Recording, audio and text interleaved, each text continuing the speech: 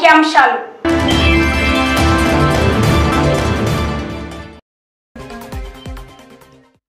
రెండో రోజు కొనసాగిన హోలీ వేడుకలు రంగులు చల్లుకొని పండగ చేసుకున్న ప్రజలు.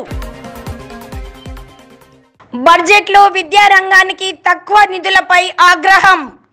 విద్యార్థి సంఘాల ఆధ్వర్యంలో ప్రభుత్వ దిష్టిబొమ్మల దహనం. చిలికి చిలికి గాలివానగా మారిన భూ వివాదం భూ కబ్జాపై నందిపేట గ్రామాభివృద్ధి కమిటీ ఆందోళన పథం. ఆర్యనగర్లో వివాహిత దారుణ హత్య. కాలివేళ్ళు కోసి మృతదేహం ముందు దీపాలు పెట్టిన దుండగులు.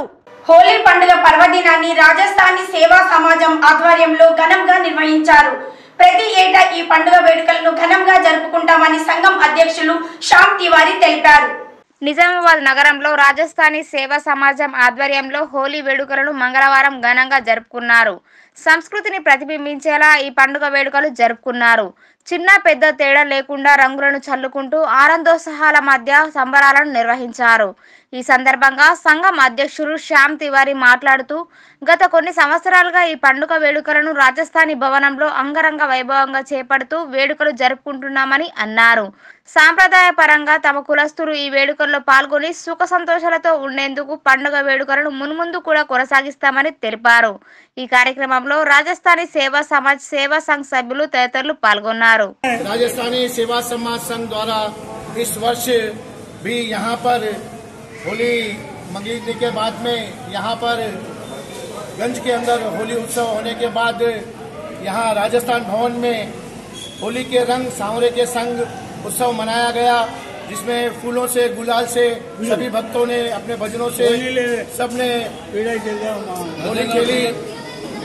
और आज यहाँ पर सवेरे से 10 बजे से डीजे का आयोजन किया गया था जिसमें सभी नौजवानों ने बढ़ चढ़कर हिस्सा लिया खूब होली की मस्ती लूटी फूल और गुलालों से खूब होली खेली और मैं आप सभी को राजस्थानी सेवा समाज संघ की ओर से होली की बहुत बहुत शुभकामनाएं देता हूं और आइए अभी happy Holi happy Holi budget సమావేశాల్లో రాష్ట్ర ప్రభుత్వం విద్యా రంగాన్ని విస్మరించిందని ఏబీవీపీ జిల్లా కన్వీనర్ నల్ల నవీన్ మండిపడ్డారు రాష్ట్ర ప్రభుత్వం విద్యారంగంపై నిర్లక్ష్య ధోరణి వీడటం లేదని ప్రతి ఏటా రాష్ట్ర బడ్జెట్లో విద్యారంగానికి క్రమంగా నిధులు తగ్గిస్తుందన్నారు.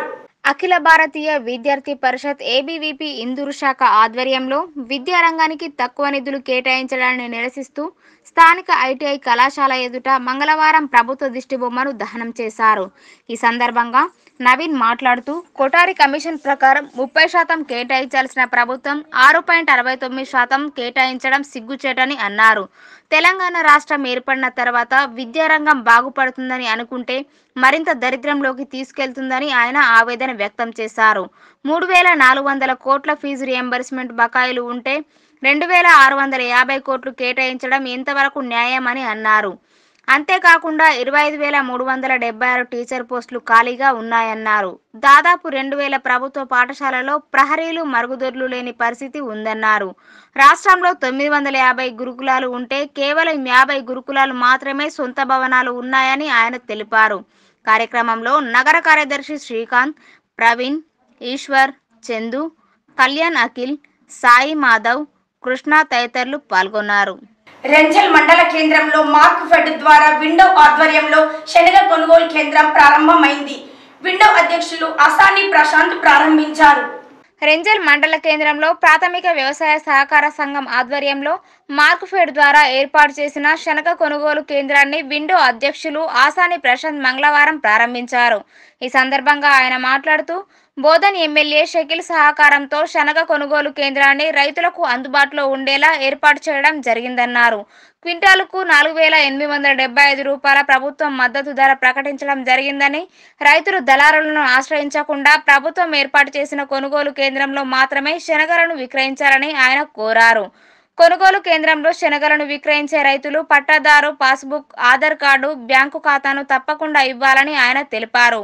ఈ కార్యక్రమంలో విండే ఉపాధ్యక్షులు మోహినుద్దీన్తో పాటు సహకార సంఘం డైరెక్టర్లు టీఆర్ఎస్ మండల అధ్యక్షులు భూమారెడ్డి రైతు సమన్వయ సమితి జిల్లా మండల అధ్యక్షులు మౌలానా కాశం సాయిలు టీఆర్ఎస్ జిల్లా నాయకులు రఫీక్ ప్రతాప్ సర్పంచ్ రమేష్ తదితరులు పాల్గొన్నారు సహకార సంఘంలో కొన్ని చిన్న కొనుగోలు కేంద్రాన్ని ఏర్పాటు చేశాము ఎమ్మెల్యే గారి సహకారంలో ఈ కొను చిన్న చిన్న కొనుగోలు కేంద్రాన్ని ఏర్పాటు చేశాము దీనికి ప్రభుత్వం నాలుగు వేల ఎనిమిది వందల డెబ్బై ఐదు రూపాయల మద్దతు ధర ప్రకటించింది రైతులు ఆ, దళారులను ఆశ్రయించకుండా కొనుగోలు కేంద్రానికి వచ్చి ఇక్కడ ప్రతి గింజను కూడా ఇక్కడ కొను మేము కొనుగోలు చేశాం.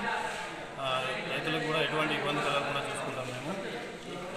ఈ కొనుగోలు కేంద్రాన్ని మా ఎమ్మెల్యే గారు ఎమ్మెల్యే గారు రైతులందరి ద్వారా ధన్యవాదాలు. ఐదు క్వింటాల చొప్పున తీసుకుంటాము. ఐదు క్వింటాల చొప్పున తీసుకుంటాము. ఇటు ఆధార్ కార్డు ఆధార్ కార్డు మరియు బ్యాంక్ అకౌంట్ పట్టా పాస్బుక్ మూడు మూడు తీసుకుని వస్తే సరిపోతుంది. ఈ అవకాశాన్ని సద్వినియోగం చేసుకోవాలి. ఎడపల్లి మండలం కూర్నపల్లి గ్రామంలో గ్రామ ప్రజల సౌకర్యార్థం వారాంతపు సంతను ఏర్పాటు చేసేందుకు ప్రత్యేక చొరవ చూపిన గ్రామ సర్పంచ్ గ్రామ ప్రజా ప్రతినిధులకు గ్రామ ప్రజలు కృతజ్ఞతలు తెలియజేశారు. తమ గ్రామంలో వారాంతపు సంత లేకపోవడంతో కూరగాయలు కొనేందుకు అనేక ఇబ్బందులు ఎదుర్కోవాల్సి వచ్చేదని గ్రామస్తులు తెలిపారు. ఎడపల్లి మండలంలోని కుర్నపల్లి గ్రామంలో సోమవారం సాయంత్రం ఎంపీపీ శ్రీనివాస్ స్థానిక సర్పంచ్ సావిత్రి రవీంద్ర గౌడ్లు వీక్లీ మార్కెట్ను ప్రారంభించారు. ఈ మేరకు గ్రామంలోని ప్రధాన కుడలిలో గల గాంధీ విగ్రహం వద్ద కొబ్బరికాయలు కొట్టి పూజా కార్యక్రమాలు నిర్వహించారు. ఈ సందర్భంగా ఎంపీపీ శ్రీనివాస్ సర్పంచ్ సావిత్రి రవీందర్ గౌడ్లు మాట్లాడుతూ గ్రామస్తులందరికీ అనువుగా ఉండేందుకు గ్రామంలో వారాంతపు సంతను ప్రారంభించడం అభినందనీయమని అన్నారు. ప్రతి మంగళవారం ఎడపల్లిలో నిర్వహించే వీక్లీ మార్కెట్కు వెళ్ళడానికి కుర్రపల్లి గ్రామస్తులకు ఇబ్బందులు ఎదురయ్యేవని దీనిని దృష్టిలో ఉంచుకొని గ్రామ పంచాయతీ పాలకవర్గం ఎంపీటీసీ రామరెడ్డిలు తీసుకున్న నిర్ణయంతో గ్రామస్తులకు నిత్యావసర సరుకులు కూరగాయలతో పాటు ఇతర వస్తువులు అందుబాటులో ఉంటాయన్నారు. అలాగే చుట్టుపక్కల గ్రామాలైన ముత్తుకుంట టానాకాలన్ మంగల్పహాడ్ గ్రామస్తులకు ఈ వీక్లీ మార్కెట్ అందుబాటులో ఉంటుందన్నారు. గ్రామస్తులతో పాటు చుట్టుపక్కల గ్రామస్తులు దీనిని సద్వినియోగం చేసుకోవాలన్నారు. అంతేకాకుండా గ్రామానికి ఆర్టీసీ బస్సు సౌకర్యం సైతం ఏర్పాటు చేయడం పట్ల గ్రామస్తులు హర్షం వ్యక్తం చేస్తున్నారు. ఈ కార్యక్రమంలో Edapalli society vice chairman Anil Reddy ఉప సర్పంచ్ మహేష్ గౌడ్ గ్రామస్తులు పరిగసాయిలు అబ్బయ్య అల్తాఫ్ వార్డు సభ్యులు తదితరులు ఉన్నారు. ఈరోజు మండల్ కుర్నాపల్లి గ్రామంలో మార్కెట్ కూరగాయల మార్కెట్ను ఓపెన్ ఓపెన్ చేసుకోవడం జరిగింది.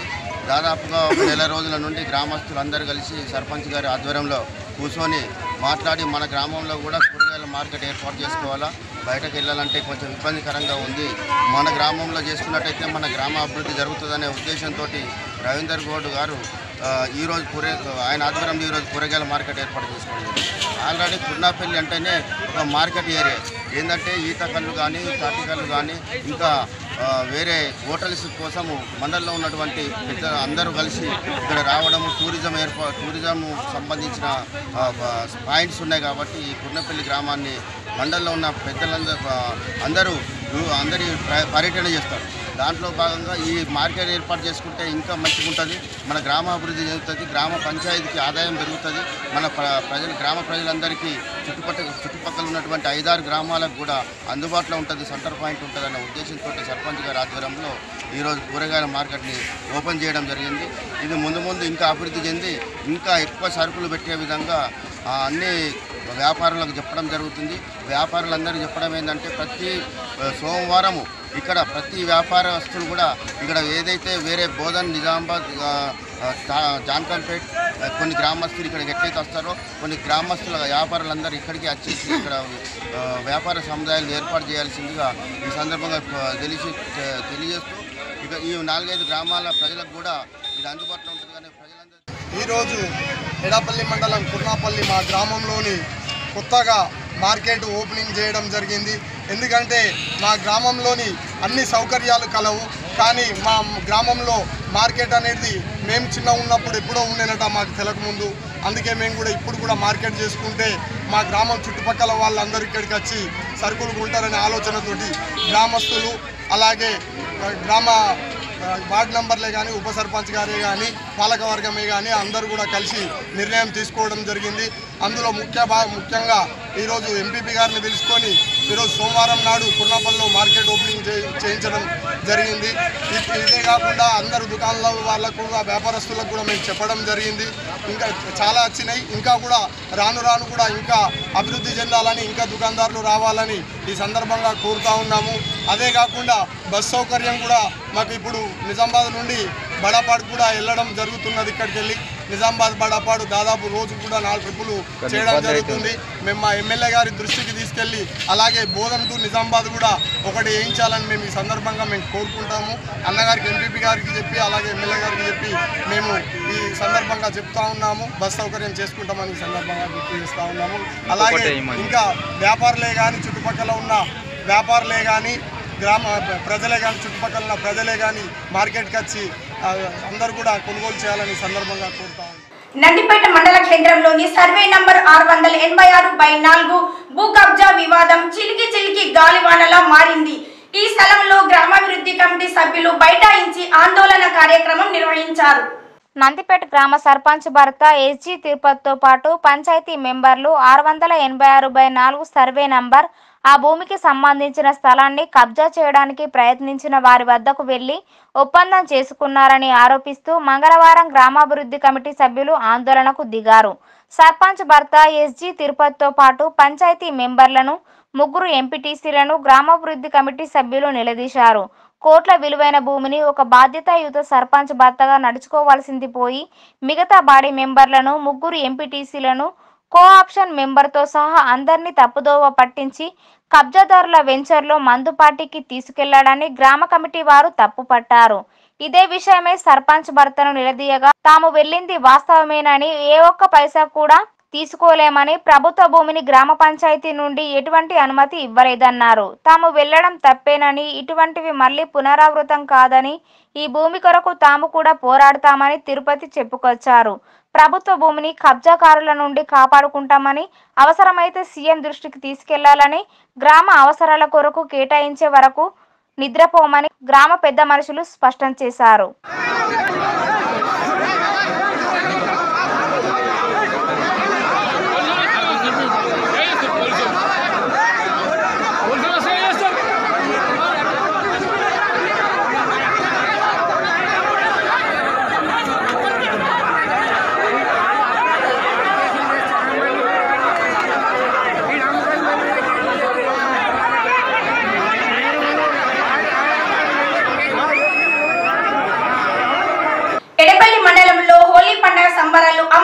తాకాయి.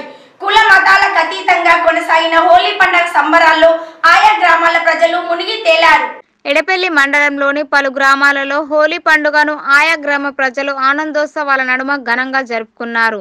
మండలంలో గల మొత్తం పదిహేడు గ్రామాలలో కొన్ని గ్రామాలు ఆది సోమవారంలో పండుగ వేడుకలు జరుపుకోగా మరికొన్ని గ్రామాలు మంగళవారం రోజున పండుగను నిర్వహించుకోవడంతో మండల వ్యాప్తంగా మూడు రోజుల పాటు ఆయా గ్రామాల్లో హోలీ పండుగ సంబరాలు కొనసాగాయి. ఈ మేరకు మంగళవారం రోజున మండలంలోని ఎడపల్లి ధర్మారం టానాకాలన్ కుర్నపల్లి అంబం బాపునగర్ మంగల్పహాడ్ గ్రామాలలో సోమవారం రాత్రి కామదహనం నిర్వహించి మంగళవారం రోజున హోలీ పండుగ సంబరాలు జరుపుకున్నారు. హోలీ పండుగను పురస్కరించుకొని మంగల్పహాడ్ గ్రామంలో కుస్తీ పోటీలు నిర్వహించారు. హోలీ పండుగ సందర్భంగా ఆయా గ్రామాలలో కులమతాలు వర్గభేదాలతో నిమిత్తం లేకుండా పండుగ సంబరాల్లో మునిగి తేలారు. పార్టీలకు అతీతంగా ప్రజాప్రతినిధులు నాయకులు ఒకరికొకరు రంగులను చల్లుకొని పండుగ శుభాకాంక్షలు తెలుపుకున్నారు. యువకుల కేరింతలు నృత్యాలతో ఆయా గ్రామాలలో పండుగ శోభ సంతరించుకుంది. Bodhan AMC chairman Archana Suryakant MPP Srinivas Edapalli ఉప సర్పంచ్ ఆకుల శ్రీనివాస్తో పాటు పలువురు తెరాస నాయకులు బోధన్ పట్టణంలో శాసనసభ్యులు షకీల్ అమీర్ను కలిసి పండగ శుభాకాంక్షలు తెలియజేసి మిఠాయిలు పంచుకున్నారు. ఈ సందర్భంగా ఎమ్మెల్యే షకీల్ మాట్లాడుతూ హోలీ పండుగ అందరి జీవితాలలో సుఖ సంతోషాలు విరబోయాలని ఆకాంక్షించారు. బోధన్ డివిజన్లోని అన్ని గ్రామాల ప్రజలకు హోలీ పండుగ శుభాకాంక్షలు తెలియజేశారు. హోలీ సంబరాల్లో ఆయా గ్రామాల సర్పంచులు ఎంపీటీసీలు ప్రజాప్రతినిధులు గ్రామస్తులు పాల్గొన్నారు. ప్రతి ఒక్కరికి పేరు పేరున హోలీ శుభాకాంక్షలు తెలియజేస్తున్నాను జై తెలంగాణ. ప్రభుత్వం విద్యారంగాన్ని ప్రైవేటుకు అప్పగించే పనిలో వేగం పెంచిందని పీడీఎస్యు జిల్లా అధ్యక్షురాలు సిహెచ్ కల్పన ఆరోపించారు. అందులో భాగంగానే బడ్జెట్లో విద్యారంగానికి తక్కువ నిధులు కేటాయించారని విమర్శించారు. రాష్ట్ర బడ్జెట్లో విద్యారంగానికి అతి తక్కువ నిధులు కేటాయించడాన్ని నిరసిస్తూ ప్రగతిశీల ప్రజాస్వామ్య విద్యార్థి సంఘం ఆధ్వర్యంలో ధర్నా చౌరస్తాలో రాష్ట్ర ప్రభుత్వ దిష్టిబొమ్మను దగ్ధం చేశారు. ఈ సందర్భంగా పీడీఎస్యు జిల్లా అధ్యక్షురాలు కల్పన మాట్లాడుతూ ప్రతి సంవత్సరం రాష్ట్ర బడ్జెట్ పెరుగుతూ విద్యారంగానికి నిధుల కేటాయింపులు మాత్రం తగ్గుతున్నాయని ఆగ్రహం వ్యక్తం చేశారు. ఒక లక్ష ఎనభై వేల కోట్ల బడ్జెట్లో విద్యకు కేవలం ఆరు పాయింట్ ఆరు శాతం నిధులు కేటాయించడం విద్యారంగం పట్ల ప్రభుత్వ నిర్లక్ష్య వైఖరికి నిదర్శనమన్నారు. ఈ వైఖరి పేద మధ్య తరగతి విద్యార్థులకు ఉన్నత విద్యను దూరం చేయడమేనన్నారు. ప్రభుత్వ వైఖరిని తీవ్రంగా ఖండిస్తున్నామన్నారు. బడ్జెట్లో ప్రభుత్వం కేటాయించిన నిధులు ఉపాధ్యాయుల జీత ఉపాధ్యాయుల జీతాల చెల్లింపులకు మాత్రమే సరిపోతాయన్నారు. విద్యా కార్యక్రమాలకు మౌలిక సౌకర్యాలకు నిధులు లేకపోవడంతో విద్య అభివృద్ధి కుంటుపడుతుందన్నారు. ఇప్పటికైనా వెంటనే సవరణ బడ్జెట్లో విద్యారంగానికి నిధులు పెంచాలని డిమాండ్ చేస్తున్నామని ఇదే డిమాండ్పై అసెంబ్లీ ముట్టడి చేయబోతున్నామని హెచ్చరించారు. ఈ కార్యక్రమంలో పీడీఎస్ జిల్లా నాయకులు ప్రత్యూష అష్రుద్దీన్ సాయి తేజ రమేష్ రమేష్ చారి మహిపాల్ నరేష్ దినేష్ రాహుల్ రమేష్ శ్రీకాంత్ రాజేష్లు పాల్గొన్నారు. రాష్ట్ర బడ్జెట్లో విద్యారంగానికి అతి తక్కువ నిధులు కేటాయించడాన్ని నిరసిస్తూ పీడీఎస్యు ఆధ్వర్యంలో ఈ రోజు ఎన్టీఆర్ చౌరస్తా వద్ద రాష్ట్ర ప్రభుత్వం యొక్క దిష్టి బొమ్మని దగ్ధం చేయడం జరిగింది.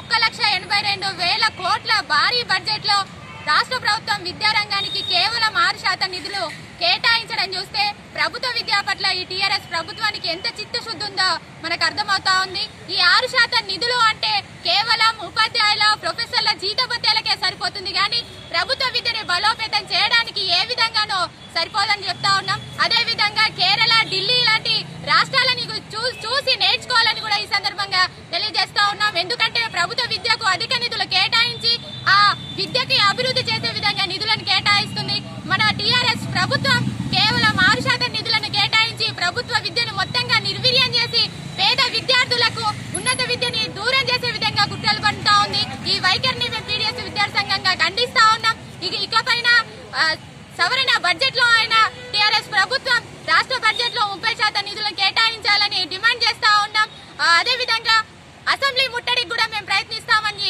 ఈ సందర్భంగా అందరి సహకారంతో సంఘం అభివృద్ధికి కృషి చేస్తానని బొబ్బిలి వీధి ఎల్లమ్మగుట్ట మున్నూరు కాపు సంఘం నూతన అధ్యక్షుడు రెంజర్ల లక్ష్మీనారాయణ చెప్పారు. సంఘ అభివృద్ధికి సభ్యులమంతా ఐక్యంగా కృషి చేద్దామని ఆయన పిలుపునిచ్చారు. బొబ్బిలి వీధి ఎల్లమ్మగుట్ట మున్నూరు కాపు సంఘం నూతన కార్యవర్గం సోమవారం ఏర్పాటైంది. నూతన కార్యవర్గాన్ని ఏకగ్రీవం ఎన్నుకున్నారు. అధ్యక్షులుగా రెంజర్ల లక్ష్మీనారాయణ ప్రధాన కార్యదర్శిగా పంచారెడ్డి గంగారత్నం కోశాధికారిగా రాంపురం సురేష్ ఉపాధ్యక్షులుగా బొబ్బిలి వేణు ఆకుల శేఖర్ సంయుక్త కార్యదర్శిగా దంతుల సదానంద్ ఎన్నికయ్యారు. ఈ సందర్భంగా నూతన అధ్యక్షుడు లక్ష్మీనారాయణ మాట్లాడుతూ నూతన కార్యవర్గం రెండు సంవత్సరాల పాటు కొనసాగుతుందని చెప్పారు. యాభై నాలుగు సంవత్సరాలుగా తమ సంఘం కార్యవర్గ ఎన్నికలు ఏకగ్రీవంగా జరుగుతున్నాయని అన్నారు. ఏకగ్రీవ ఎన్నికలకు సహకరించిన సభ్యులకు ఆయన కృతజ్ఞతలు తెలిపారు. సంఘ సభ్యులందరికీ నా యొక్క కృతజ్ఞతలు.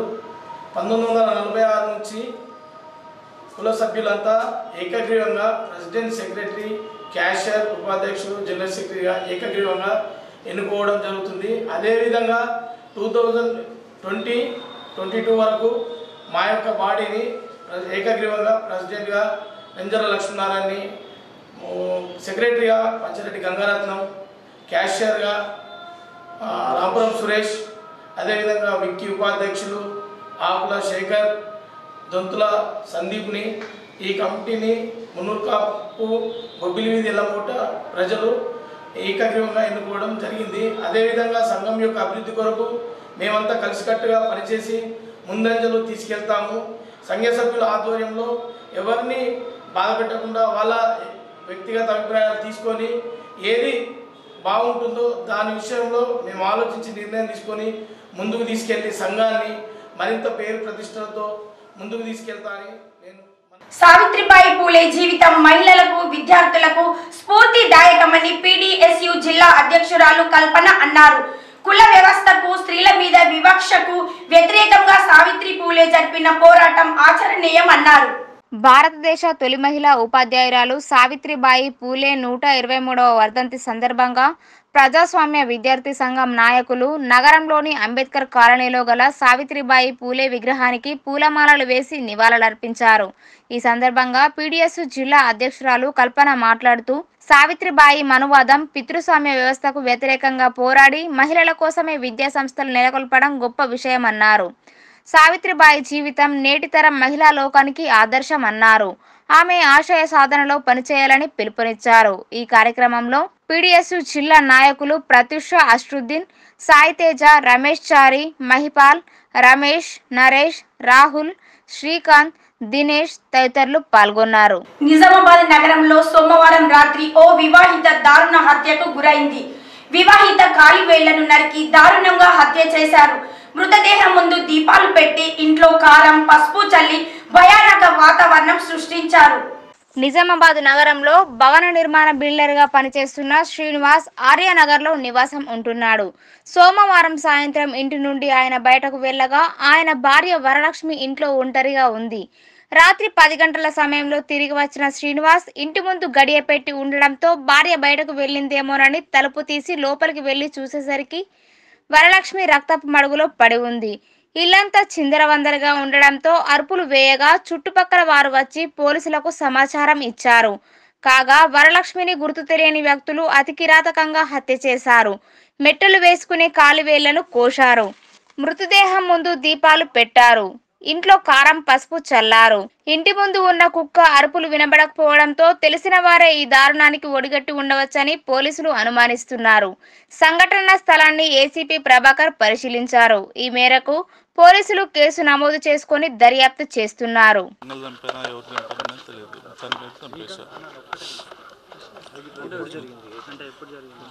ఎయిట్ థర్టీకి చూసా సార్. అప్పటికే రక్తం మడుగుల్లో పడిపోయింది. అంటే ఎప్పుడు అది నేను మా మధ్యాహ్నం రెండింటికి వెళ్ళిపోయా. మళ్ళీ నైట్ ఎనిమిదిన్నరకు వచ్చాను. వచ్చే వరకు బయట లాక్ బయట ఉంది లాక్ అంటే అదే బయట ఉంది తీసి చూసే వరకు అంటే మొత్తం ఇల్లంతా పసుపు కారము రక్తం మడుగులు. అంటే కూలీలు ఎవరు లేరు సార్. శనివారం పంపించేసి అందరినీ. పండుగ ఉందని చెప్పేసి. ఇప్పుడు వరకు అయితే ఎవరి మీద లేదు సార్. అంటే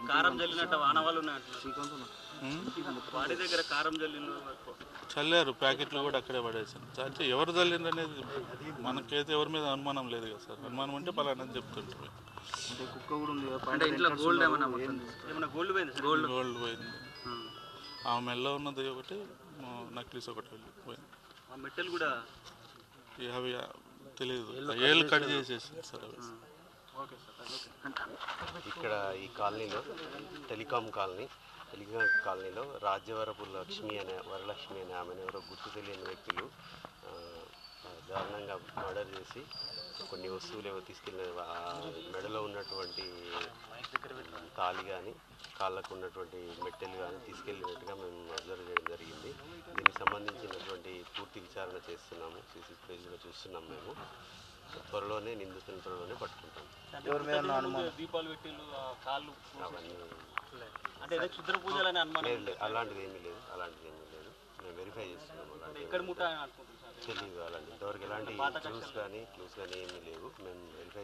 దర్పల్లి మండలం డిబి తాండాలో మంజుల అనే వివాహిత పుట్టింటి వద్ద పురుగుల మందు తాగి ఆత్మహత్య చేసుకుంది. అత్తింటి వారి వేధింపుల వల్లనే చనిపోయిందని మృతురాలి బంధువులు భర్త ఇంటిపై దాడి చేసి ఇల్లు ధ్వంసం చేశారు. ఇందల్వాయి మండలం జీకే తాండాకు చెందిన గణేష్తో నాలుగు సంవత్సరాల క్రితం మంజులతో వివాహం జరిగింది. అత్తింటి వారి వేధింపుల వల్లనే చనిపోయిందని మృతురాలి బంధువులు భర్త ఇంటిపై దాడి చేసి ఇల్లు ధ్వంసం చేశారు. దీంతో తాండాలో ఉద్రిక్తత పరిస్థితి నెలకొన్నది. అక్కడికి చేరుకున్న పోలీసులు ఆందోళనకారులను చెదరగొట్టారు. జీకే తాండాలో ఇందల్బాయి పోలీసులు భద్రతను ఏర్పాటు చేశారు. సంఘటన స్థలానికి చేరుకున్న నిజామాబాద్ ఏసీపీ శ్రీనివాస్ కుమార్ మృతురాలి బంధువులతో మాట్లాడి ఆందోళనకారులను శాంతింపజేశారు. మృతదేహాన్ని పోస్ట్ మార్టం నిమిత్తం ఆర్మూర్ ప్రభుత్వ ఆసుపత్రికి తరలించారు. బైన్సాలో జరిగిన అల్లర్లలో నష్టపోయిన మున్నూరు కాపు బాధిత కుటుంబాలను ఆదుకునేందుకు రాజ్యసభ సభ్యుడు ధర్మపురి శ్రీనివాస్ ఐదు లక్షల రూపాయల చెక్కులను సంఘం బాధ్యులకు అందజేశారు. బైన్సాలో ఇటీవల జరిగిన అల్లర్లలో తీవ్రంగా నష్టపోయిన మున్నూరు కాపు బాధిత కుటుంబాలను పరామర్శించి వారిని ఆదుకోవడానికి నివేదిక ఇవ్వవలసిందిగా మున్నూరు కాపు సంఘము అధ్యక్షులు రాజ్యసభ సభ్యులు డి. శ్రీనివాస్ నిజామాబాద్ మున్నూరు కాపు సంఘం ప్రతినిధులకు సూచించారు. ఆయన సూచనల మేరకు బైన్సా పర్యటన అనంతరం డిఎస్కు సంఘం ప్రతినిధులు నివేదిక సమర్పించారు. ఈ నివేదిక ఆధారంగా ముప్పై ఒకటి బాధిత కుటుంబాల కోసం ఐదు లక్షల రూపాయల చెక్కులను సంఘం బాధ్యులను డిఎస్ హైదరాబాద్కు పిలిపించుకొని అందజేశారు. సంఘం బాధ్యులు త్వరలోనే బైన్సా వెళ్ళి బాధితులకు చెక్కులను అందజేస్తారని డిఎస్ తెలియజేశారు.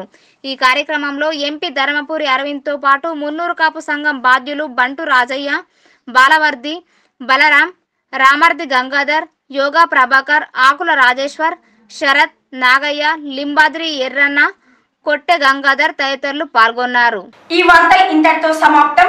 తిరిగి ప్రసారమయ్యే వార్తల్లో మళ్ళీ కలుసుకుందాం. అంతవరకు చూస్తూనే ఉండండి. లోకల్ న్యూస్ మన ఊరు మన వార్త.